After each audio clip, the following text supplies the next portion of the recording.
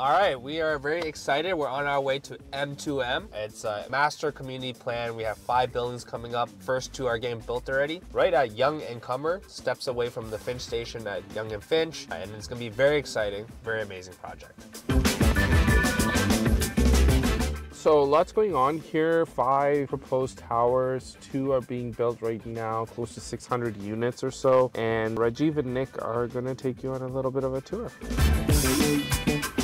So Nick and I are here at M2M, just north of Finch on Yonge Street. Very exciting. It's a five building phase. Right now we're building the first two. It's 33, 35, 39 stories. There's a 40 story and a 43 story building. The builder is by Aoyuan and this is gonna be a great project. What's amazing is that this building right here, they're incorporating something called a smart privacy window screen. It's amazing technology. Never seen before. So out of the five buildings together, it's gonna be over 1,600 units. Wow. Total. That's gonna A, be crazy. a great, beautiful community itself. Yeah, from studios to all the way to three bedrooms. You have unlimited amount of choices here in this complex. Master community plan. And very modern concept. If you're interested, guys, there are much more buildings coming up here. As, as you can see, there's only the first two that just started. Please give us a call and uh, contact information is below. We are here to help you.